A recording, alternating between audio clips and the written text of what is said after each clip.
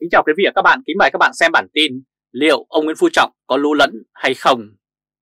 Ông cho ra lò mớ luật rồi lại dẫm lên nó. Ông Nguyễn Phú Trọng đang có tham vọng trở thành lãnh tụ trong Đảng Cộng sản Việt Nam Là lãnh tụ thứ hai chỉ sau ông Hồ Chí Minh. Ông Hồ Chí Minh là người đầu tiên được xem như là ông thánh của chế độ. Không một ai trong Đảng Cộng sản có thể vượt lên trên con người này. Ông Trọng muốn làm người thứ nhì.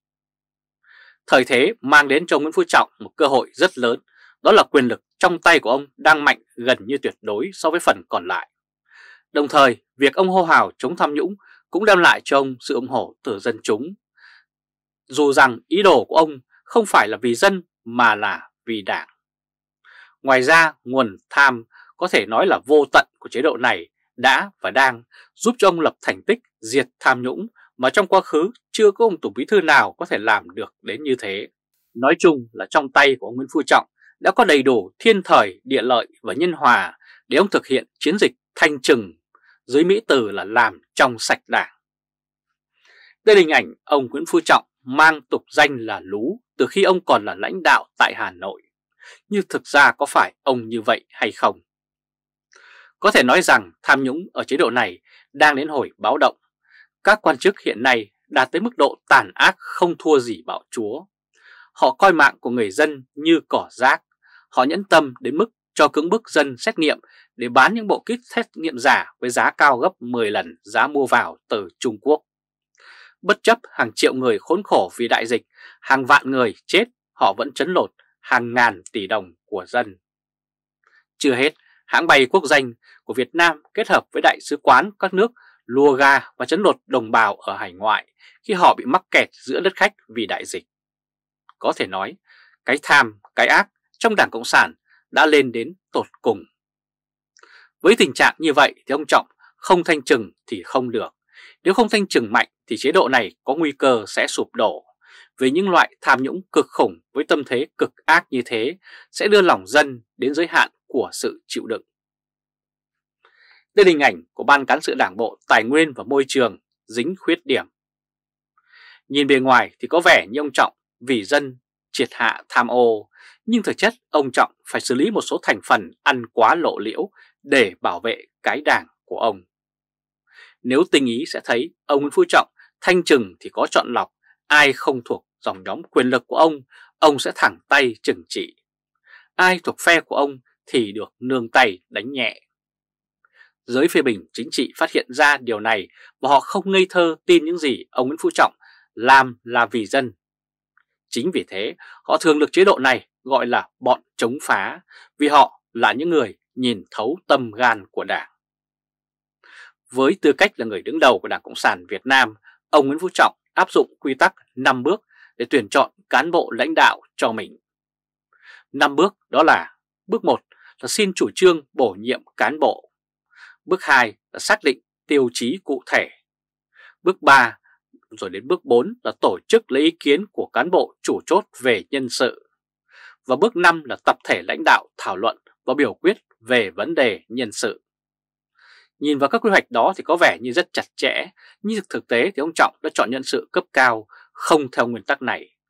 Cụ thể nhất là vào ngày 21 tháng 12 năm 2022 vừa qua, Ủy ban Kiểm tra Trung ương đã ra kết luận Ban cán sự đảng bộ, Bộ Tài nguyên Môi trường thiếu trách nhiệm, buông lỏng lãnh đạo, chỉ đạo để một số tổ chức cá nhân có hành vi vi phạm khuyết điểm trong tham mưu, xây dựng và ban hành các tổ chức thực hiện thể chế, chính sách về đất đai, tài nguyên, khoáng sản, bảo vệ môi trường. Ấy vậy mà, Bộ trưởng Bộ Tài nguyên và Môi trường Trần Hồng Hà thì lại, lại đang được chọn làm Phó Thủ tướng thay trong Vũ Đức Đàm. Vậy có phải là ông Nguyễn Phú Trọng lại dẫm lên chính quy định của mình hay không. Đây là hình ảnh ông Trần Hồng Hà, Bộ trưởng Bộ Tài nguyên và Môi trường sắp lên chức Phó Thủ tướng Chính phủ. Ông Nguyễn Phú Trọng thì bị gắn biệt danh là Lú từ khi còn ông là lãnh đạo tại thành phố Hà Nội. Danh xưng đó là do người dân đặt cho ông nếu nhìn vào những gì ông đang làm về công tác tuyển chọn và bổ nhiệm cán bộ cho đảng, thì có vẻ ông lú thật. Tuy nhiên nếu nhìn sâu vào sự việc thì sẽ thấy ông không lú mà ông cố tình làm như thế. Ông đặt bẫy là để gài phe khác dính vào bẫy, còn phe của ông thì cho qua. Nói đâu xa, ông tự đặt ra suất đặc biệt cho bốn nhân vật tứ trụ, nhưng cho đến nay ông lại là người hưởng lợi nhiều nhất từ chính quy định đó. Ông đặt ra và dẫm lên, nhưng dẫm cũng có chọn lọc, dẫm sao cho có lợi cho ông và phe của ông. Quý vị và các bạn vừa theo dõi chương trình truyền hình trực tiếp của Lê Trung Khoa, Thời báo chấm với bản tin liệu ông Trọng có lú lẫn hay không? Ông cho ra lo luật rồi lại dẫm lên chính nó. Quý vị và các bạn hãy chia sẻ video này cho nhiều người biết và bấm nút theo dõi YouTube và Facebook của Thời báo chấm để luôn được cập nhật những bản tin mới nhất, nhanh nhất và trung thực nhất. Từ Berlin, Cộng hòa Liên bang Đức chào các bạn và hẹn gặp lại các bạn ở bản tin lần tới.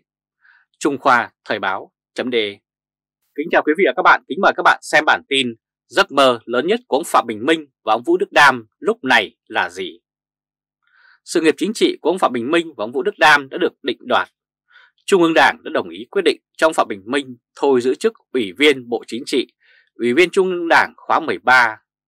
Còn ông Vũ Đức Đam cũng thôi giữ chức Ủy viên Trung ương Đảng khóa 13. Việc còn lại là vào ngày 5 tháng 1 tới đây, Quốc hội họp phiên họp bất thường để thực hiện việc bỏ phiếu bãi nhiệm hai ông phó thủ tướng này là xong. Bị cách hết tất cả các chức vụ trong đảng là tội rất nặng. Trước đây, ông Nguyễn Văn Thể bị thôi chức Bộ trưởng Bộ Giao thông Vận tải nhưng vẫn còn giữ được chiếc ghế Ủy viên Trung ương Đảng. Ấy vậy mà số phận của Nguyễn Văn Thể đến nay vẫn chưa rõ ràng. Liệu ông có được về nhà với vợ con hay không? Hay là bị tống vào ngục giam đây? Nhưng theo thông lệ, hầu hết những quan chức còn giữ được chức vụ trong đảng thì tạm thời an toàn. Đây là hình ảnh ông Phạm Bình Minh. Trường hợp ông Phạm Bình Minh bị thôi chức Ủy viên Bộ Chính trị và Ủy viên Trung ương Đảng rất giống với trường hợp ông Đinh La Thăng trước đây. Còn ông Vũ Đức Đam bị thôi Ủy viên Trung ương Đảng cũng tương tự như ông Tất Thành Cang. Hiện nay cả hai ông Đinh La Thăng và Tất Thành Cang thì đều đang ngồi trong tù bóc lịch. Nói về hậu quả thì những gì ông Đinh La Thăng gây ra không nguy hiểm bằng ông Phạm Bình Minh. Ông Phạm Bình Minh đã tổ chức chấn lột người dân giữa lúc họ mắc kẹt ở xứ người vì dịch bệnh. Hoặc ít nhất ông đã bao che cho việc này, vì nó xảy ra trong một thời gian rất dài. Tương tự, sai phạm của ông Vũ Đức Đam cũng liên quan đến tính mạng của hàng vạn người trong cơn đại dịch. Muốn biết ông Phạm Bình Minh và ông Vũ Đức Đam có bị bắt hay không thì chỉ có thể chờ mới có thể có kết quả. Bởi đến nay, tuy hai ông phó thủ tướng này đã ra khỏi Trung ương Đảng, nhưng vẫn còn giữ trọng trách trong chính phủ dưới tay ông Phạm Minh Chính. Và đợi đến ngày 5 tháng 1 năm 2023, khi mà Quốc hội bỏ phiếu miễn nhiệm thì hai người này mới chính thức bị bãi bỏ hết mọi chức vụ. Đây là hình ảnh ông Vũ Đức Đam. Như vậy, phải sau ngày 5 tháng 1, khi mà kỳ họp bất thường của Quốc hội khép lại, thì lúc đó mới biết được liệu ông Phạm Bình Minh và Vũ Đức Đam có bị luật pháp sở gáy hay không. Sự nghiệp chính trị của hai ông phó thủ tướng này xem như đã kết thúc, việc còn lại là ước mơ sao trong Tổng bí thư Nguyễn Phú Trọng đừng có đuổi cùng diệt tận. xua Tô Lâm đưa quân đến khám nhà như thể đã là may mắn lắm rồi. Làm chính trị ở chế độ này là chấp nhận cuộc chơi mạnh được, yếu thua. Ai may theo được phe mạnh thì an tâm, ai lỡ theo phe yếu thì sẽ bị hạ bởi dù phe mạnh hay phe yếu đều tham lam, vô trách nhiệm và vô cảm với người dân như nhau cả. Ai cũng dính chàm, có điều ai là người bị khui ra mà thôi. Đây là hình ảnh tránh được chỗ ở của Đinh La Thăng là may mắn với ông Phó Thủ tướng lắm rồi. Phạm Bình Minh và Vũ Đức Đam là hai gương mặt được đánh giá là có thực học. Trong chính quyền của Đảng Cộng sản Việt Nam, tiến sĩ nhiều như rươi, nhưng hầu hết những tấm bằng đó không được đánh giá cao. Bằng cấp như Vũ Đức Đam và Phạm Bình Minh được công nhận. Tuy nhiên, Tây học không đồng nghĩa với đạo đức. Dù cho Tây học hay học trong nước mà làm việc cho Đảng Cộng sản thì cũng đều như nhau cả. Đấy là những gì mà Đảng Cộng sản đã nhào nặn bấy lâu nay. Cộng sản đuổi được chất Tây học ra khỏi người của những quan chức đã từng đi học bên trời Tây.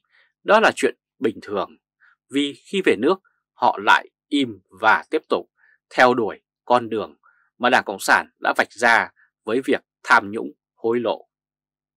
Đây là một chứng minh rõ ràng cho thấy dù con người có được đào tạo từ các nền giáo dục tốt, khi về phục vụ cho Đảng Cộng sản thì Đảng sẽ xóa sạch những giá trị đạo đức và nền giáo dục tự do truyền thụ.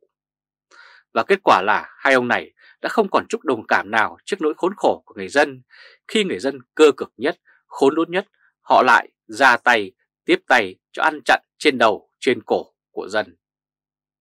Đảng Cộng sản đã cầm quyền ở đất nước này được 77 năm và những gì nó đã tạo ra là tàn bạo, độc đoán, đói nghèo, mất tự do. Quan chức thì biến chất, xã hội thì bất an, con người hành xử độc ác với nhau. Rất khó để tìm ra những con người tử tế trong chế độ này. Quý vị và các bạn vừa theo dõi chương trình truyền hình trực tiếp của Lê Trung Khoa, Thời báo chấm với bản tin Giấc mơ lớn nhất của ông Phạm Bình Minh và ông Vũ Đức Đam lúc này là gì? Quý vị và các bạn hãy chia sẻ video này cho nhiều người biết và bấm nút theo dõi YouTube và Facebook của Thời báo .de để luôn được cập nhật những bản tin mới nhất, nhanh nhất và trung thực nhất. Từ Berlin, Cộng hòa Liên bang Đức chào các bạn và hẹn gặp lại các bạn ở bản tin lần tới. Trung Khoa Thời báo .de